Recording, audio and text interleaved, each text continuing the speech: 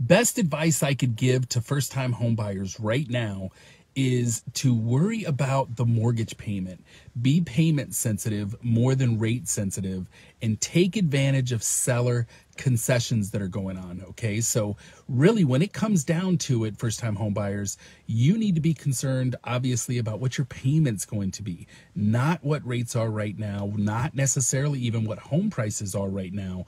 But in reality, the market that we're in, if you eh, are able to get a 10 to 15% discount on the home, the payment is going to go down. So, for example, if you're looking at a $500,000 home uh, six months ago, now you may be able to get that home for 450,000 and be able to get a 3% seller concession to pay for your closing costs. So, yes, rates are not 3% anymore, they're 6% or higher, but the payment is going to be pretty close because you're getting a 10% reduction on the purchase price. Okay.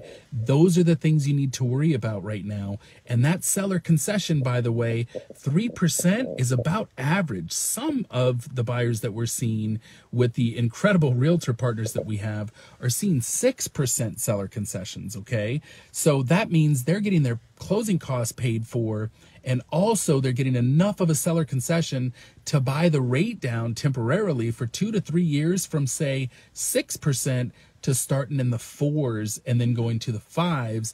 And remember, I'm going to keep telling you all because I do know rates are going to come down eventually.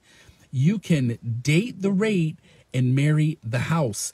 I'm going to refinance you for free. I'm going to waive my lender fees. If you buy a home right now and rates come down in the next 12 months, we're going to waive our lender fees to get you refinanced and get you in a solid 30 year fixed somewhere in the fives or fours, hopefully within the next 12 months.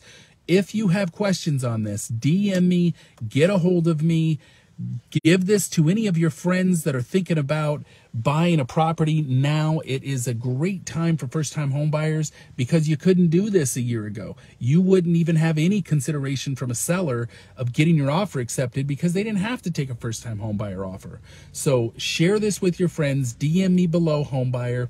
I'll get back to you and get you on a plan and connect you with a top realtor in Arizona or California and get you into that home that you dream of.